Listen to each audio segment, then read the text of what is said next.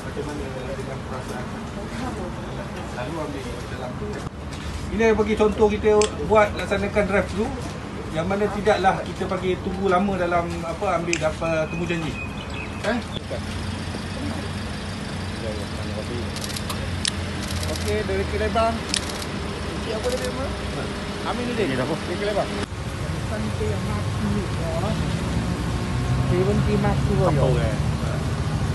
Hả? Tốc độ. Dạ dạ. Cái cuốn chế tại pháo công ty